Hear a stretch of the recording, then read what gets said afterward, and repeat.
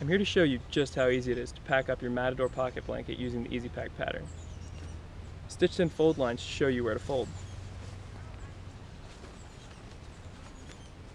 Always pick the line that bisects the fabric, fold the blanket in half.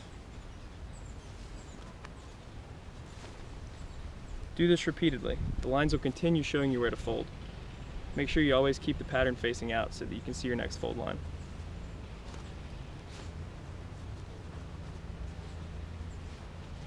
Your folds should be neat, but they don't have to be perfect. Once you're all folded, flip the attached storage pouch inside out over the blanket and you're ready to go.